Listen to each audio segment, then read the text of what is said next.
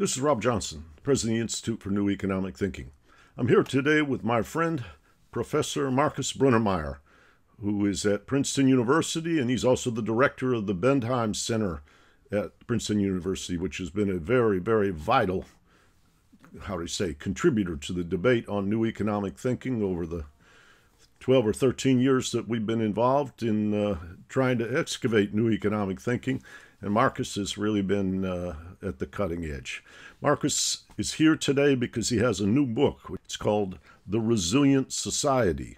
It's by Endeavor Publishers. It came out just recently, and Markus is uh, exploring lots of things that I think you will find to be very germane to the challenges before us. Markus, thanks for joining me. Thanks, Rob. It's a pleasure to be with you and with INET. Let me ask you just quickly to start what motivated you? What when you when you sat down to do this book, what was going on inside your mind that, that brought this to the fore? So I was thinking about resilience quite a while because I, you know, worked a lot on systemic risk measures and try to capture, you know, systemic risk. And then there was the COVID crisis, and during the COVID crisis, I organized this webinar series and I tried to distill the main insights from the webinar series and put it under a common theme, some common thread of resilience. So that's the idea of the book, to have a common theme combining a lot of insights, which I got from many, many speakers. And so that, uh, which marks so-called stimulus from your excellent webinar series, which I attended many, many times over the course of the crisis, uh, gave you, how do I say, a nudge to try to distill, bring forward the insights or crystallize them into a framework. And uh, I notice at the outset of the book, there's a very important subtlety about words like, or phrases, I should say, risk avoidance, robustness, and resilience. Why don't we start there and tell us what what is, what is the difference? What's the nuance that yeah, in order opens to, this? Yeah, in order to figure out what something is, it's probably good to say what it is not or what is it different mm-hmm. from, as you said. And so I, I, contrast it, I call it resilience and its cousins. And uh, so robustness is, is a different concept than resilience. And uh, what I often use is this um, story by the French poet in 17th century who compared robustness as with the oak and uh, is very robust against winds in your stance, very, very uh, forcefully there and doesn't move at all. And resilience is more like uh, a reed, which is, you know, constantly swinging back and forth as the wind blows. But there's a big difference between the oak and the reed. If the wind becomes very, very strong, the oak falls over and then can't get back up, while the reed is constantly needs to be very volatile all the time, but it always comes back. So it's much more resilient. Yeah. So robustness yeah. has a robustness barrier. Once you break the robustness barrier, you can't come back. While resilience is all about coming back. And the French poet La Fontaine, 17th century, in the poem, the reed talks to the uh, to the oak and says, "I bow and I bend, but I don't break." And I think that's a mm. principle of resilience uh, in contrast to uh, robustness. And it's related what I worked earlier on on the volatility paradox. So it seems something which is very volatile might not be the most robust thing. Uh, might not, not most, uh, because it might break, it might break the robustness barrier. And something which constantly moves and is agile and is changing to the circumstances seems at the end of the day much more uh, resilient and it's some better way to arrange society to have a more stable society. Yeah, uh, forgive me to use an analogy from my engineering training at MIT, but they used to talk about the elastic limit of materials. Mm. You can stretch something and it'll spring back, but if you yes. go beyond the elastic limit, it breaks and is deformed That's permanently. Very nice, yes. And uh, but we're now talking about social process. Now, what? How does risk avoidance relate to resilience? So risk avoidance means you just avoid risks in the first place. You don't go hmm. into mm. risky environments. And while you should actually take certain risks if you know you can bounce back from it. In particular, if you take on this risk and you have a higher growth path.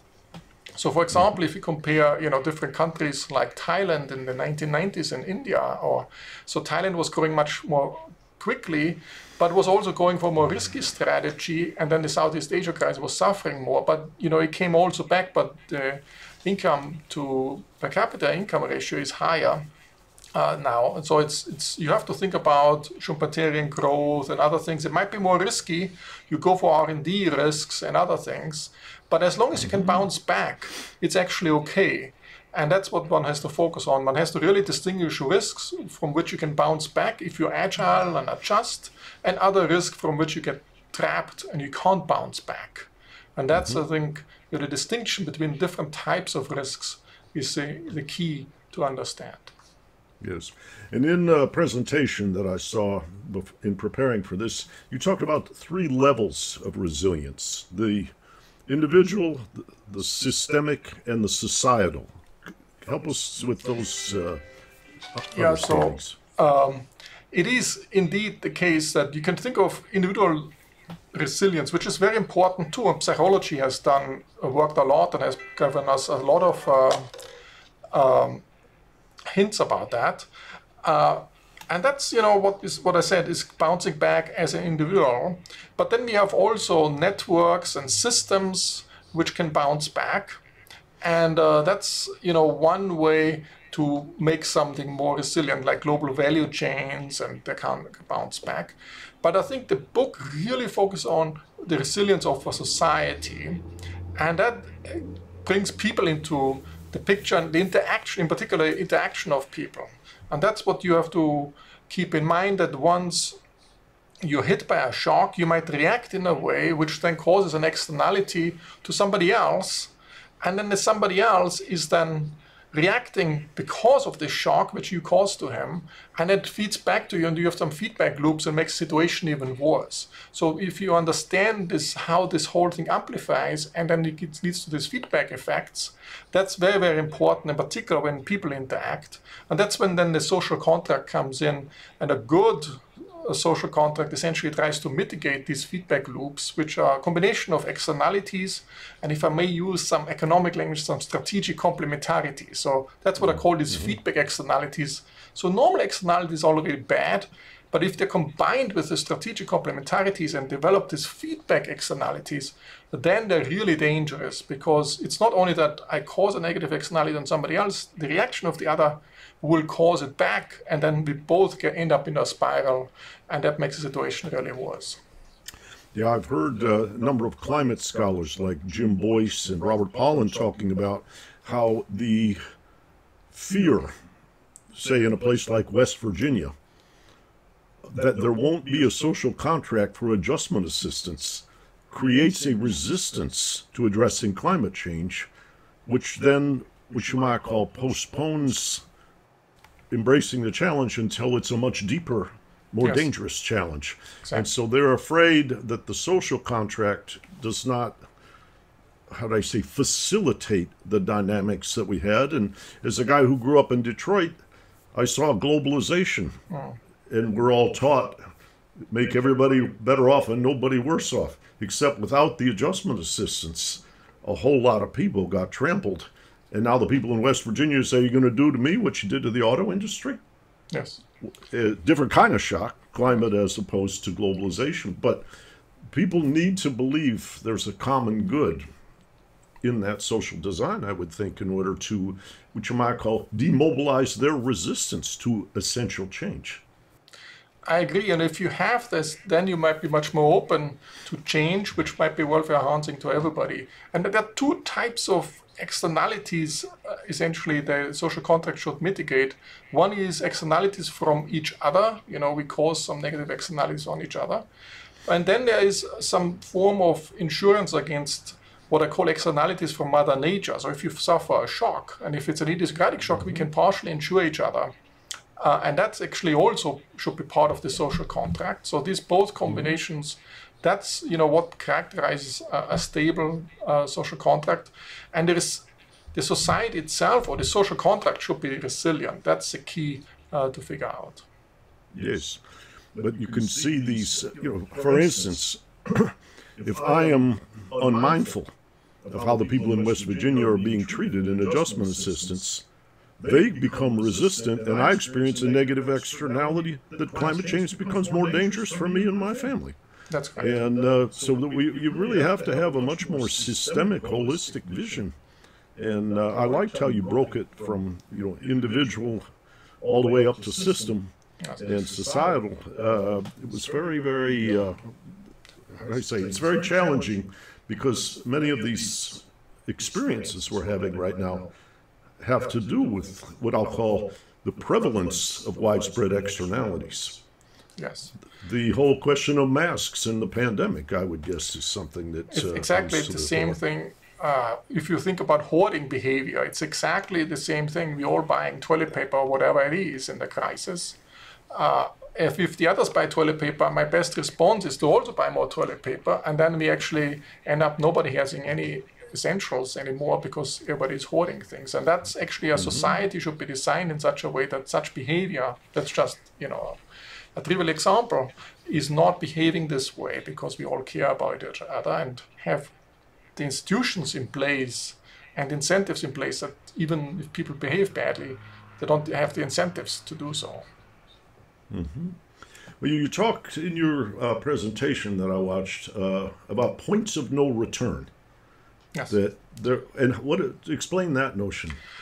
Yeah, so, so I talk about resilience destroyers, and we talked about these feedback loops. Uh, that's one resilience destroyer. Another resilience destroyer are these traps. So you, you might be caught in a trap. So if you have a negative shock, you might not go back, come back out. So that's you have to really watch out for these type of traps. But a very important aspects are these tipping points. It's a third form of uh, resilience destroyer. It's, it's related to um, the feedback loops. Essentially, you might be walking towards a tipping point, and then if you cross the tipping point, you can't come back anymore. And even worse, it's worse than a trap. A trap you just caught there, but if you have a tipping point, you might just at that point it might become worse and worse, and you can't do anything against it anymore. And that's you know what you really have to avoid. And you see this a lot in the environmental dimension as well, because you mentioned environment. So if you think about the Gulf Stream stopping, once the Gulf Stream stops, you cannot start it again very easily. Mm-hmm. So there's a mm-hmm. tipping point. So in a sense, there are certain risks where there's no resilience at all. There's anti-resilience. You know, things get even worse. And these risks you should really avoid. Uh, so you really have to classify your risks ex ante, whether you can actually bounce back from them by being agile and adapt to the situation, and others where you can't, even if you're very agile and adapt to it. And that's from an ex ante perspective, yes, very, very important to draw the distinction across the various forms of risks. So if I'm looking at a graph, a transient disturbance, you go down and you come back up That's to the yes. baseline. The tipping point, you go down and you trip across the boundary and you keep going down. Down, yes. and the displacement becomes the new base. Yes. And uh, oh, that's very that's very interesting. I should perhaps also say coming back doesn't mean necessarily you come back to the old point. There might be a new normal, and the new normal might mm-hmm. actually be better than the previous normal. So if I, if I look at the, the COVID crisis in particular, you know, we might come back to a world where we have way better vaccines. We will know how to produce vaccines within a few months. We might be now mm-hmm. be able with these new technologies to create malaria vaccines and you know treat cancer differently. So there's or we change working from home. The whole you know we were locked in in some certain behavior, and a certain shock can also sh- sh- shake us and bring us to new opportunities. And that's part of it too. So it doesn't need to go back to the old normal. It can go to a new normal as well, and hopefully it's a better normal. For instance, you you modernize ventilation systems, you modernize sewage systems in communities, and let's say the COVID, COVID challenge is behind us, but the sus- how would I susceptibility to illness in communities is diminished in a non-transient way by that threshold change in the systems. Yes. So and so what comes exactly? So what you also don't want, if I may say so, is that you don't want to protect humans from any shocks. So it's a little bit like you know if you don't expose your kids to any risks at all, they never grow up. So they have to have yeah. some setbacks, yeah. and this way they know how to handle bigger shocks later on when they're adults.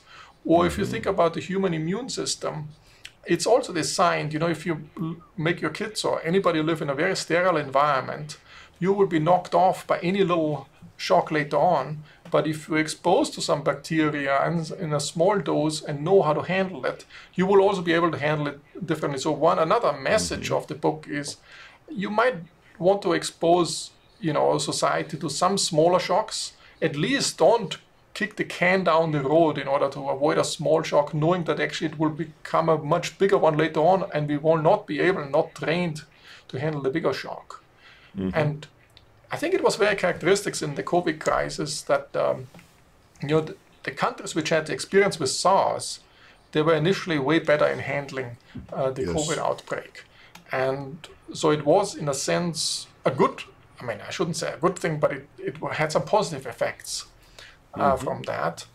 And the same thing is true if you look at the reaction of the central banks and the fiscal and the government, the fiscal authorities during the COVID crisis was way more aggressive compared to the global financial crisis. But you know, the central banks have learned how to react to mm-hmm. the, the glo- from the global financial crisis, and they can just replay the same playbook they have learned from the global financial crisis, and this way bounce back much quicker this time around. Yeah. So so in this sense, learning from smaller crises is actually a good thing. So it's a little bit like the reed. You constantly, when there's winds coming, you try to learn and adapt, and um, and this way, when a bigger storm is coming, you're also ready to handle it. Yeah, yeah. Well, I I kind of sense myself right now that, like you mentioned, the learning of the great financial crisis. When you look at macro policy now, we have all these games going on in the pharmaceutical industry about dissemination. And then you see the variants, the mutant variants coming back. And the cost of subsidizing pharma companies to get on their horse is in the billions of dollars. The cost of further shutdowns and delays in the trillions of dollars. Yes. And it feels like we have a collective action problem and what you might call scorekeeping on the balance sheets of companies where we've got to unlock things and be much more, particularly in the global south, pervasive in dissemination of vaccines because we and I and I think we are learning that. Yes, I think we are slower than it. we'd hoped. Uh, I think the the biggest challenge is actually distribution of the vaccines. I think. Uh, yes. Yes. Uh, just uh, production is a huge challenge in the distribution across the countries, but within the country to convince the population in many many countries to get vaccinated will be the way biggest challenge. Mm-hmm. And this cannot be orchestrated from outside. It has to be done within the country. And that will be by far the biggest challenge. You see it in, even in the advanced countries that there's a lot of resistance to take the drugs. And I think the resistance is even more pronounced in, in, in uh, more emerging economies. And to handle that and develop schemes, that's also where you know behavioral economics can help and psychology, and there's a lot of things we have to learn. And the other thing is essentially trust in science you know that we don't abuse the trust in science such that there will be a long long lasting trust. And you can if i may say so there was some not so nice behavior towards minorities in the, uh, some decades ago in certain countries. And that still hurts today. These minorities they're not willing to take vaccines. Yes. i think it has long lasting effects if you don't uh, treat everybody the same and uh, with mm-hmm. respect. Now i remember uh, during the time of aids I was working with a famous South African musician, oh. Hugh Masekela. He was very concerned that the prime minister of his country was not using uh, condoms and other forms oh. of uh, insulation from the propagation of AIDS because he thought it was a conspiracy to yeah. stop black African people from continuing to thrive and grow and, and how you say, inhabit the earth and he thought he had to fight that. And uh, this gentleman that I work with, uh, Masekela, was quite convinced that this was going to be very painful and very harmful, and he devoted a lot of his uh, concert proceeds and so forth to setting up public charity. And uh, so I, I, think some of those suspicions, it, it, which you might call are historically well founded, but in the certain innovative contexts, we've got to overcome Yes. a lot of that. Now, you talked in your, your presentation that I watched about the nature of a social contract. And in, in terms of the structure, the principles, whatever, what's a, what's a healthy social contract look like, and when can you identify that we don't have one?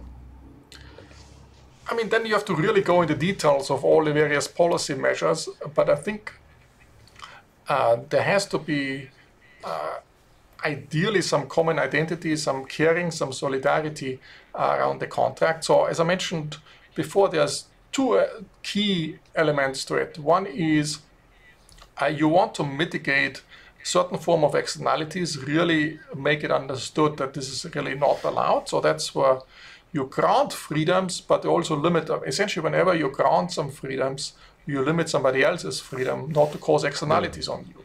So that's Yeah. essentially the key, one key element. So you limit the externalities from others. And the other element is that you have a certain amount of social security uh, in a sense of granting some insurance scheme uh, and for, against in particular idiosyncratic shocks. And that becomes a little bit more tricky in a sense, you know, ideally, when you look at risks, if you have a more heterogeneous society, a more diverse society, then the shocks are more heterogeneous, they're more diverse, the shocks themselves, and hence you can diversify better. You can actually insure better if, if the society is more heterogeneous.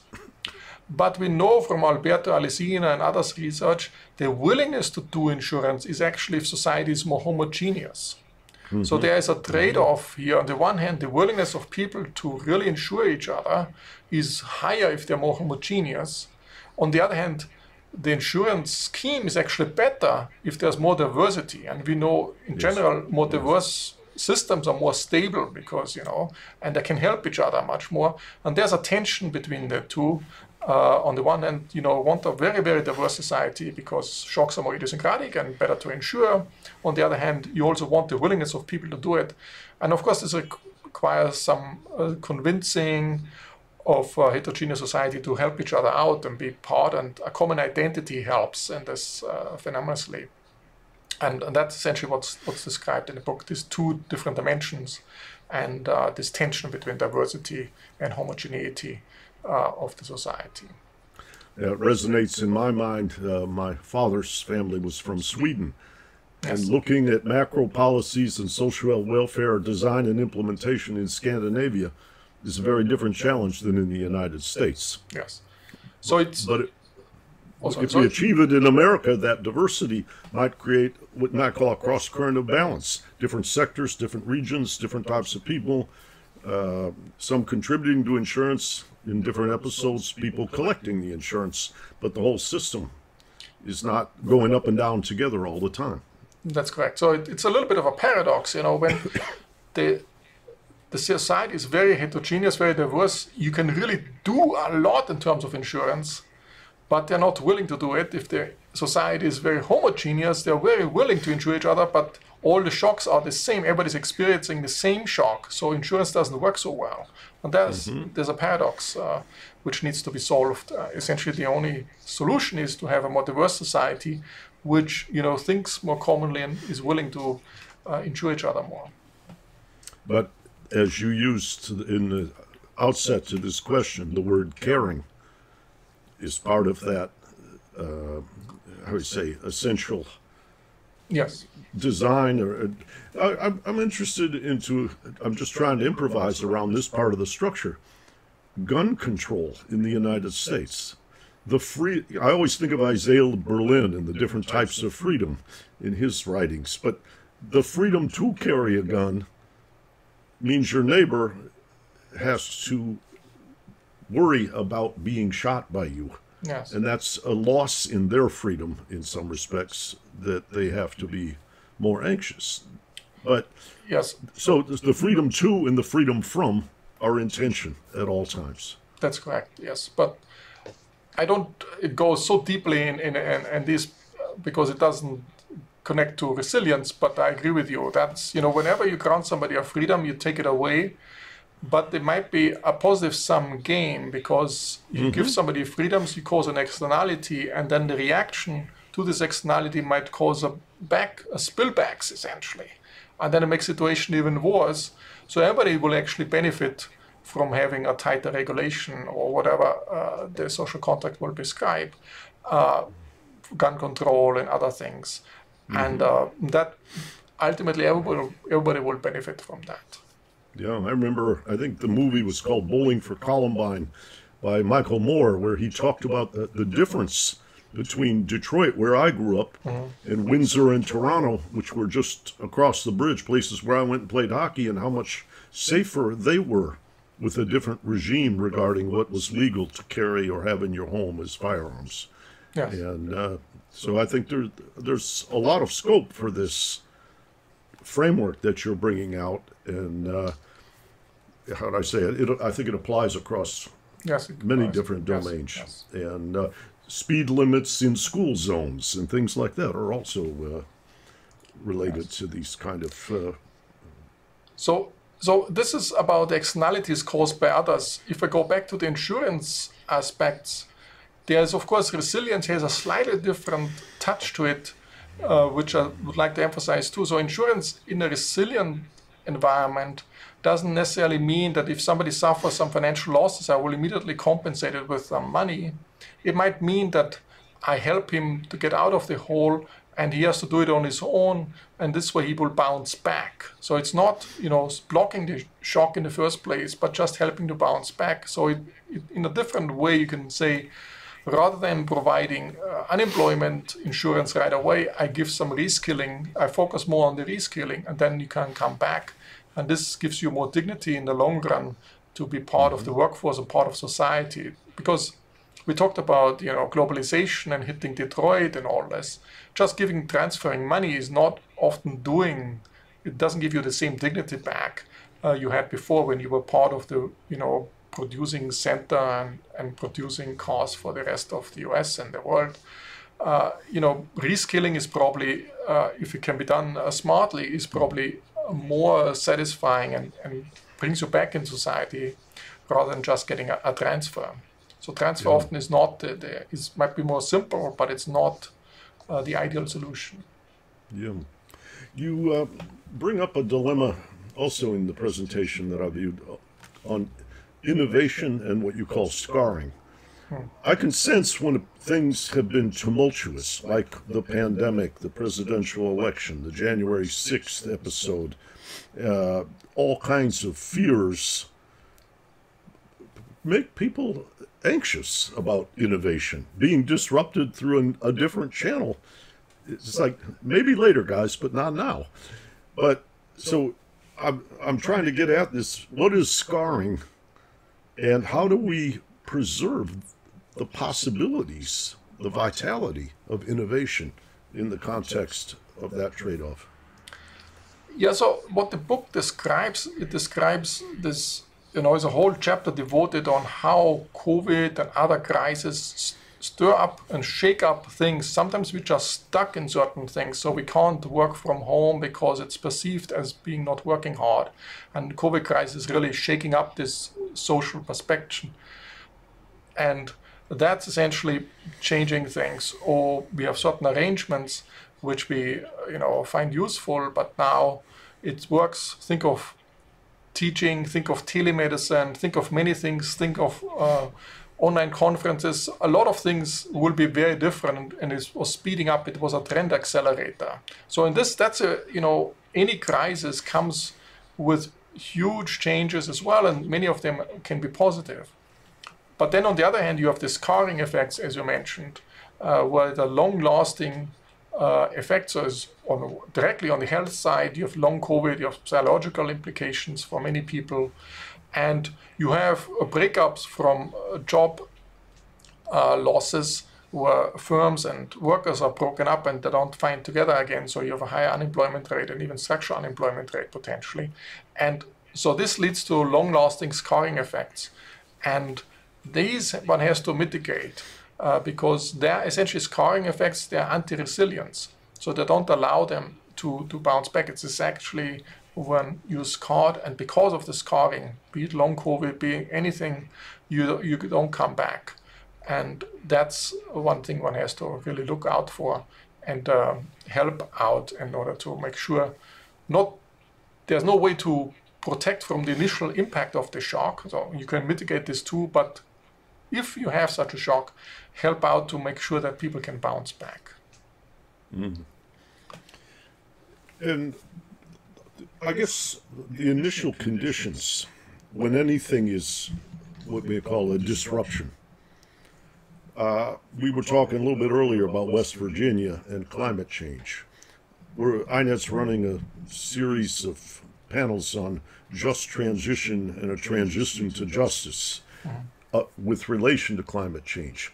There is a, a huge fear in this country that with very highly concentrated wealth, whatever we go through, a handful of people, we'll just call it the 1%, will be able to insulate themselves. They have the resources, the power, the means, and uh, and that everybody else will be damaged. How does, which you might call the courage to innovate, relate to the breadth of wealth and income distribution? So that, how do I say, more of us are on the side of innovation and less, we say, hunker down in our garage trying to avoid breakage. I think we, you need that everybody has a certain equal opportunity to innovate. So having low entry costs to innovate, I think is very, very important that you can have mm-hmm. startups. And you have, with new technology, actually, some of the entry barriers actually are much lower and some are much higher. So if you want to set up a certain company and you can, all the IT system and all this much more easier to set up um, than it was uh, decades or two decades ago. On the other hand, there's some new network externalities where the entry cost increased significantly. So that's, you know, it, it's shifting and you have this winner takes it all societies uh, where, you know, only a few uh, will get the huge payoffs and the others who don't make it, who just are second, third, or fourth placed, uh, don't get it. So that's uh, something you have to keep in mind in innovation. So in the book, I talk about in one chapter about uh, inequality and uh, social challenges, in particular inequalities. And you know, it's very important to distinguish between income inequality, wealth inequality, and what I talk is about resilience inequality.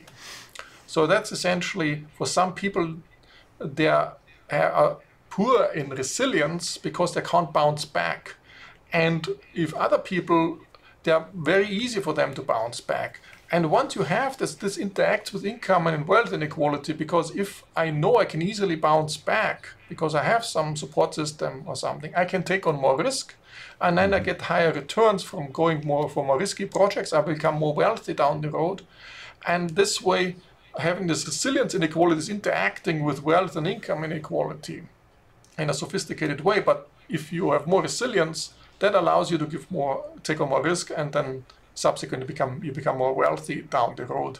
And it feeds into wealth inequality. So we have to make sure that all people have roughly the same resilience inequality and are not resilience poor because that's what you want to grant them initially and then that can take the opportunities and many people can't take the opportunities because uh, they are really afraid uh, that once they face a shock that they can't come back and that's you know in many developing economies that's the case that you're, you, you're a farmer and suddenly you can't, you have a bad crop this year and you can't send your kids anymore to school. And, um, and that not only hurts yourself, you can't bounce back, but even your kids, they can't bounce back and be part of, uh, of the flourishing society. And that's, uh, I think, where the resilience interacts very dramatically and importantly with other inequality measures. Yeah, well, you know, uh, our research director at INET, Tom Ferguson, who looks at the feedback of wealth concentration onto the design and enforcement implementation of social policy and how that, uh, which you might call uh, that system, which promotes excessively, perhaps, policies for the few, is quite dangerous in many people's mind now because the many despair and they become subject, if you will, attracted to authoritarian rule. that when they don't think the democracy works right, I know Martin Wolf is writing a book about this at, at the Financial Times right now. When they don't think the system is protective of all of us, they start looking for someone, in this case Donald Trump, who say the system is rigged. We got to change it. And they say, oh, I haven't heard that in a long time. Both parties were playing with the narrow. So I think there's a lot about what you might call the interaction between politics and economics that has to do with the design and implementation of a resilient system, which then fosters more innovation, less fear, and less susceptibility to authoritarian rule. So I think I think you're you're really playing in how would I say you're you're exploring very important dimensions of the quality of life in this in this realm. Yeah, I, agree that this is an important point. So for me, you know, you have wealth inequality. It depends very much what the wealthy do with their wealth. Now, if mm-hmm. if somebody is very wealthy but he invests it and puts re- pushes really the frontier and that has positive spillover effects to the rest of society, so be it. If he is a very good decision maker and he's mm-hmm. innovating and you know develops new industries or pushes whole industries forward, and then this has benefits to uh, to most of us, then it's fine. If he's just uh, you know spending it on, on luxury goods and it's not really beneficial for the rest of society, then it's a totally different mm-hmm. thing. So we might want yeah, to consider yeah. you know discriminating between the two things. Uh, so which yeah. one benefit and what activities don't benefit, and uh, treat it you know from a tax perspective accordingly. Yeah, well, there's a gentleman that I know quite well named Morris Pearl, who leads a group called the Patriotic Millionaires, and their thought is how do you redirect this money? And you you mentioned luxury goods, but his big concern is they use that money in lobbying to take what used to be called tax evasion and turn it into tax avoidance. And then state and local governments can say we can't afford it because we don't have the budget anymore because large concentrations of wealth are kept offshore and not considered accessible for rebuilding the infrastructure, and, and particularly in a period of transition. But uh, so I think you've got a lot of, uh, I would say, a lot of dimensions to this. But that I love what you said that there are people with money who are brilliant, who are doing good as well as doing well.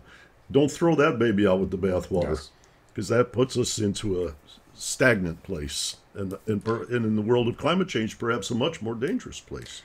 Yes, I think we need, so in a sense, we need an open minded system where mavericks can also thrive. So sometimes it is some maverick who is really innovating a huge thing.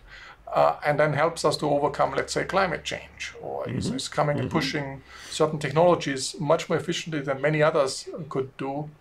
And that's, I think, the big advantage of um, a democratic, open society where it allows for people to think differently and is open to it. And if you have an autocratic society, it's a little bit more like the oak. You know, it's very rigid, it's not moving, it seems very stable, but when the wind is too strong, it will fall, while a democracy might look much more like the reed. And mm-hmm. it allows for constant debate and back and forth and and, and seems less stable. But ultimately, I think the transition of power is smooth and it actually makes the whole uh, society much, much more uh, a stable uh, framework to live in. And mm-hmm.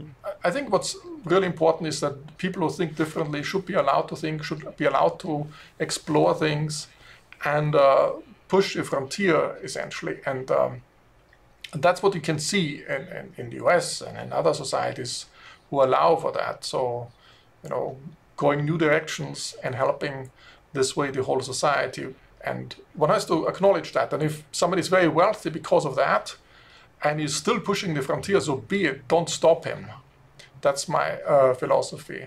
If somebody is not doing things which you know will help uh, and is taking risks, is not taking risks, so somebody who's taking risk and is and does a lot of R and D, and that's I think it will ultimately benefit uh, everybody. Yeah. There's a uh, group that affiliates with INET quite closely, the Center for International Governance Innovation in in Canada, in the suburbs of Toronto.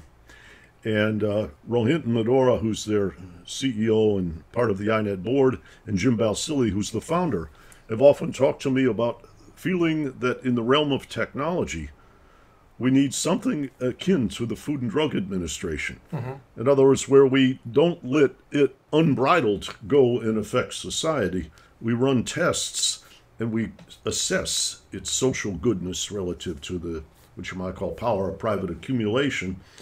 And their their thought is that having a system like that that has credibility and expertise, and those are necessary conditions, may improve the confidence of society as a whole and diminish the resistance to tolerating innovation because it's it's filtered by a vision of social which you might call accountability social good and uh, this is what they do in the far- with the pharmaceutical drugs yeah, the only to, problem is what is good and what is bad. There might be huge disagreement. You know, right. And if there's one that's committee right. deciding what's good or bad, that's a little bit yeah. you know, you might go the wrong direction because the committee decided the wrong way.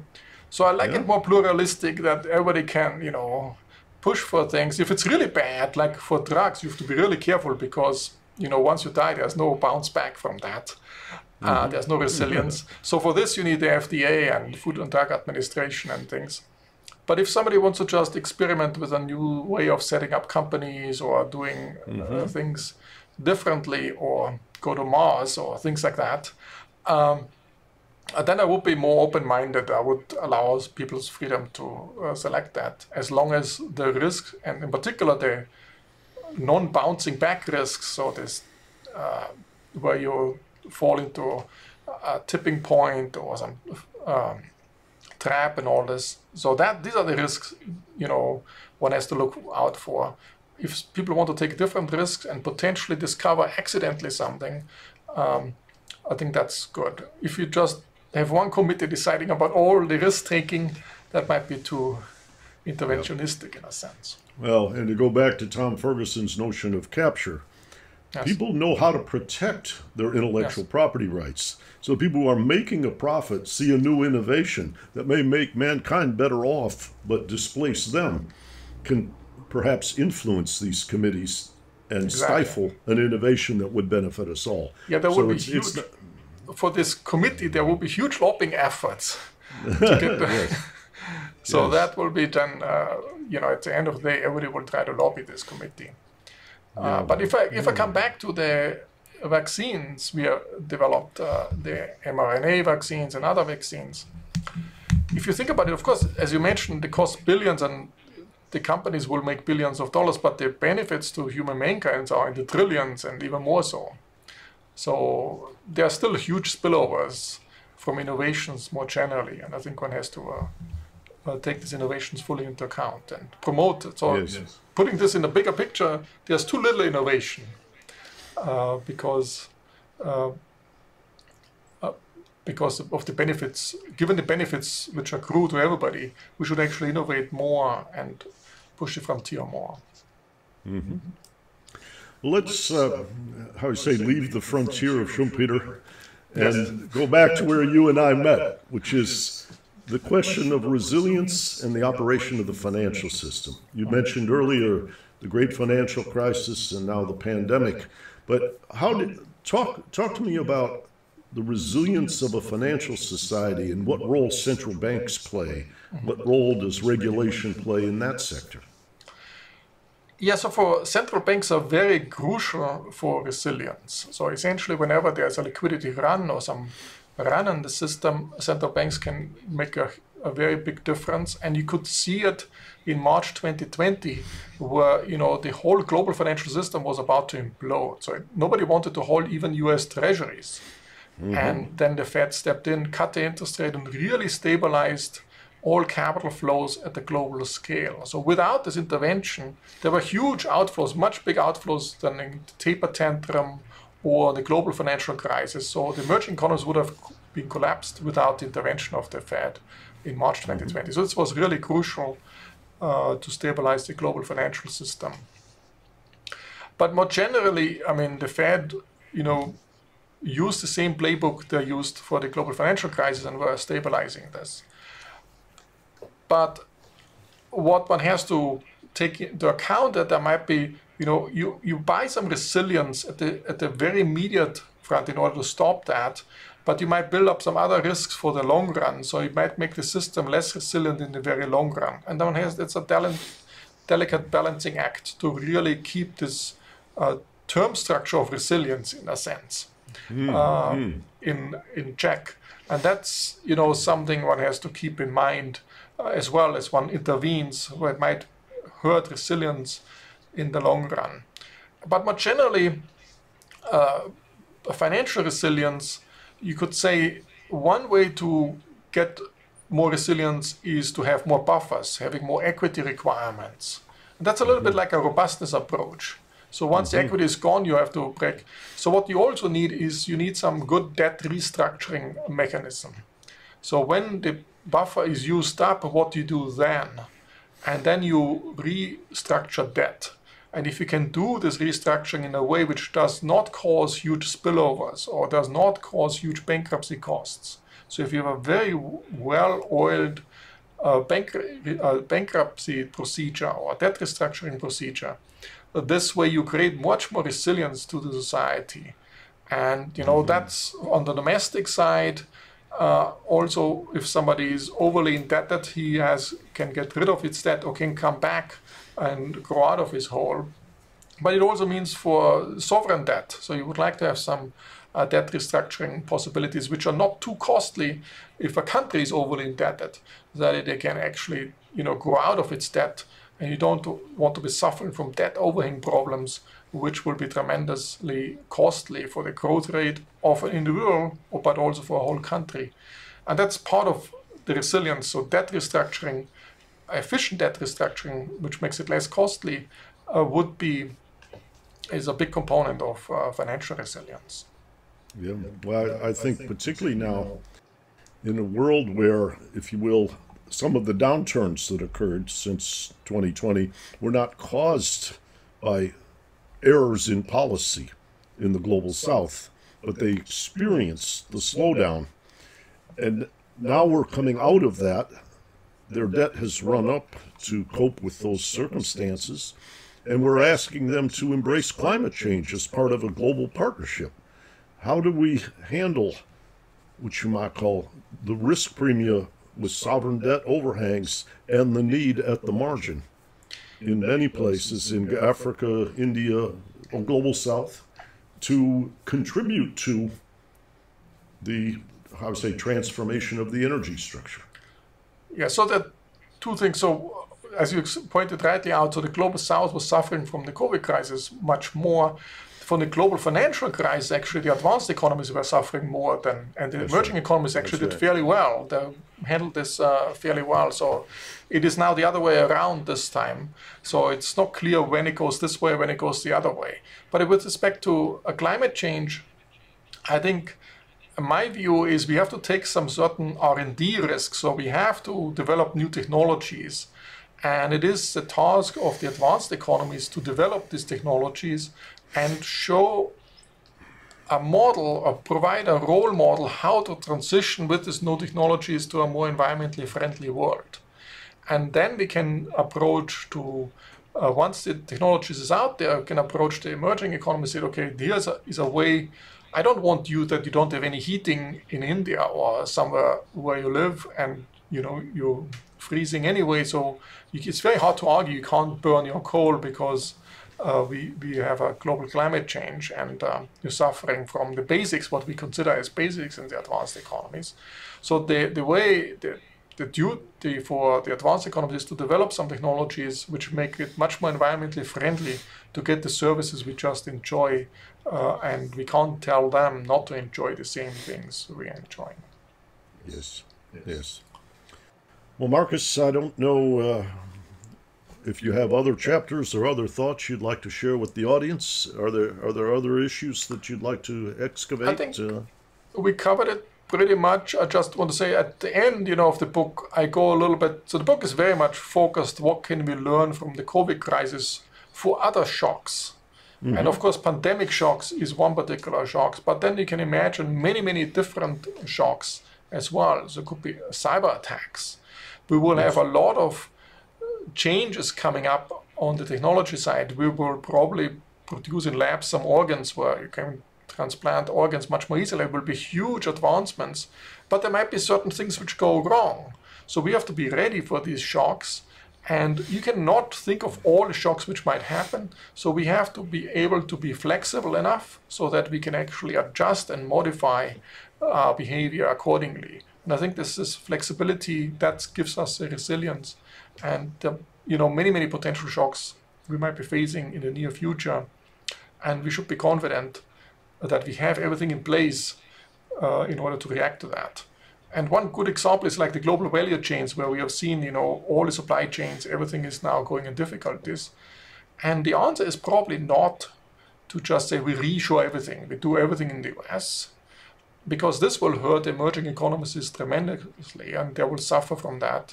Uh, it's probably saying we might multi-source, we provide it from, and we, we flexibly can then switch from one country to another country if there's some you know outbreak or some health crisis or something, we can still source from another country. Uh, and, and certain things we'll bring back and do some reshoring, but many things we can be more resilient and have a global vision and, and work together. And the final point I wanted to make so the COVID crisis was a big global crisis, and we didn't react really as a global society. So a lot of nationalistic aspects came back. And that's, you know, in order to have a resilient society, we really have to work together also for global challenges at a global scale. And there's a lot of institutional buildings necessary in order to have this framework to react at a global scale efficiently.